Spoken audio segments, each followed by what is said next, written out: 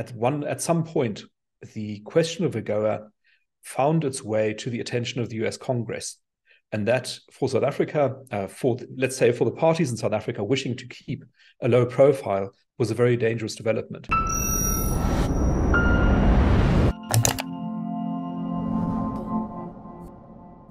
The trade and diplomatic relationships between South Africa and the US and other Western countries have been full of tension over the last year, if we can put it mildly and diplomatically. The director of the Center for Risk Analysis, Dr. John Endres, who joins us today, recently visited the US amongst meetings with many uh, think tanks and other interested parties. He engaged on the issue of South Africa's uh, standing in the US and the US's view of South Africa at this point in time. John, thanks very much for your time with the CRA YouTube uh, for this week. Just to start off with your trip and some of the initial impressions of South Africa from those people with whom you met? Um, favorable or unfavorable, not to lead the witness here, but I'm sort of trying to give you some options as to what people at this point in time think of, of South Africa. Right. So thanks for inviting me back on, Chris. Um, I think the first observation was that South Africa has dropped out of the international headlines for quite a long time. Um, of course, it dominated international headlines during the times of apartheid and the transition. Uh, once that had been uh, gotten out of the way and resolved, then South Africa became a normal country, in inverted commas, and in the last few years has received relatively little attention from the global media. But that changed over the course of the past year, especially, and particularly because of South Africa's relationship with Russia, uh, which put us firmly back in the spotlight. And that was also very much the focus of many of the conversations I had in Washington, where my interlocutors uh, we're trying to get an understanding of South Africa's position uh, and also sharing their views of what the US's position should be on South Africa. And this is mostly surrounding the question of uh, South Africa's nominally non aligned status. So the desire not to align either with the uh, so called West or the so called East, which uh, you might want to describe as the liberal West or the, the autocratic East that non alignment was placed in question by the fact that South Africa uh, studiously avoided supporting UN resolutions condemning Russia's invasion of Ukraine, and also then escalating from that South Africa's very friendly friendly relations relations as it seemed with Russia, which did not go down well in, in Washington.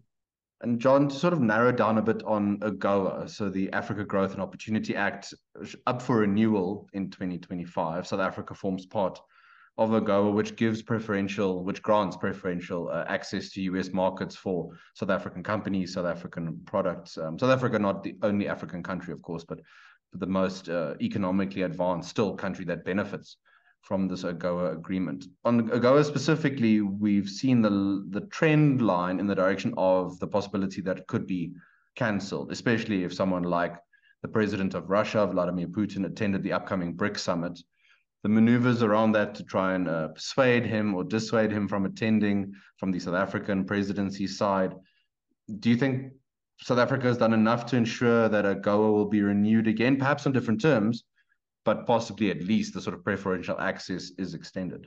Yeah, so on AGOA, uh, there are several conditions under which the US Congress is able to extend these privileges to certain African countries, but by no means all of the countries.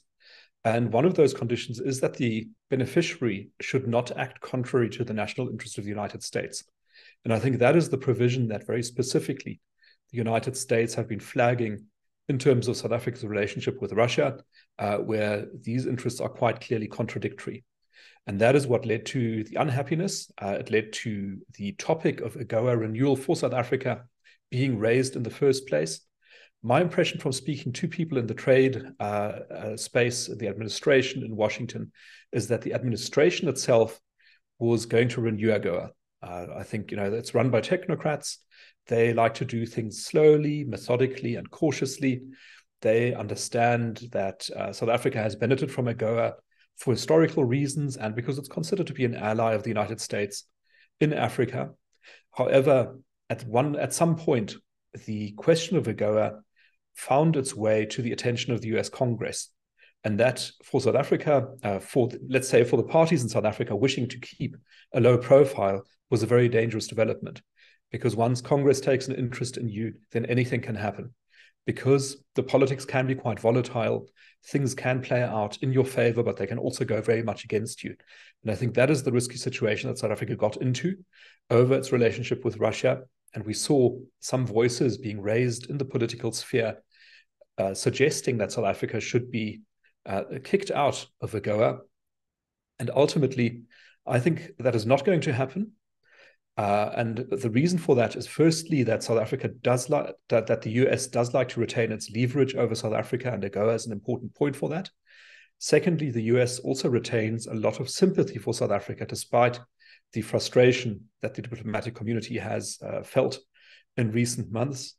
And finally, the thing you mentioned, which is that Vladimir Putin was disinvited from the BRICS summit in South Africa, played an important role, I think, in easing the tension somewhat. So we'll probably still see a little bit of talk uh, around AGOA and whether South Africa should be in it or not. But for now, I think that South Africa's membership is safe. John, in a few of our risk alerts, um, which our clients receive every Monday morning um, at 7 a.m., we raised the, the, the risk for the US in terms of possibly pushing South Africa more into uh, Russia's arms, as it were. So, with comments, especially by Ambassador Brigety, around allegations of arms and munitions loaded onto the Lady R ship that docked in Simonstown uh, last year in South Africa. We thought perhaps the US is inadvertently, it wouldn't be their overall intention, of course, but through different uh, comments in public forums, maybe not only doing it in a, in a sort of behind the scenes way, but in more public forum, putting pressure on the government, and in that way, uh, pushing South Africa closer to Russia. To really try and put you on the spot, do you think maybe some of Russia's moves and ideas have backfired in that regard, and that there will still be tension or sort of light tension between South Africa and Russia, but overall uh, between South Africa and the US, but overall that relationship has a somewhat still stable footing. Yeah, so I think that Russia was actually doing pretty well in the diplomatic space in terms of bringing South Africa closer into its orbit. Hmm. Uh, and the United States was watching from the sidelines, almost uh, seeing this happen, but not really able to do much about it. And I think that Ambassador Brigety's intervention, as unorthodox as it was and as it risky as risky as it was, was successful in recalibrating, reshifting the dialogue between South Africa and the United States. I think it was a necessary intervention in hindsight, uh, which could have gone horribly wrong, but I think in the end played out in the interests of the United States. Uh, and currently, I would say that the United States diplomatic uh, interests are in the ascendancy versus those of Russia. Uh, and the disinvitation of Vladimir Putin, I think, must be counted as a diplomatic defeat for uh, Russian foreign relations efforts.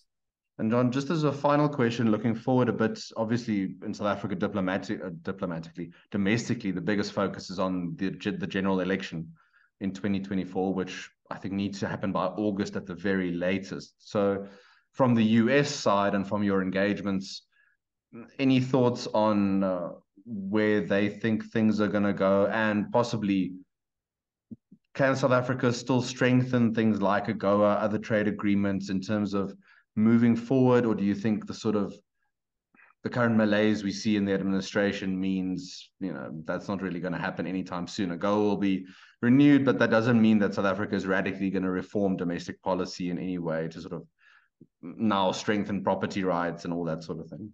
I think that the the ANC and the ANC government held a huge um, goodwill advantage in the United States for many many years, and I think that that very large stockpile of credit is now being lost, uh, squandered, and heading close to zero. So I think the ANC is not enjoying as much goodwill as it used to 10 or 20 years ago, not to mention 30 years ago. And the United States, I think, does harbor a lot of goodwill towards South Africa as a country, but a lot of disillusionment towards the ANC and its performance in government. If there were to be a change in administration in 2024 uh, towards a government that was more friendly towards the United States, I think that government would find open doors in Washington it would find very considerable opportunities to strengthen relationships, to uh, multiply trade, uh, and to, to, to foster a really very positive working relationship. I think the ANC might be able to do it, but I'm not really seeing signs that it is keen to do so. Uh, when we look at the policy documents, uh, the statements coming out of the party, uh, that really doesn't seem to be a focus of the international relations game currently. Thank you very much for watching. Let us know your thoughts in the comment below. And a reminder, please, before you leave, if you haven't yet, subscribe to our YouTube channel. Until next time, this has been Chris Hattingh for the Center for Risk Analysis. Take care.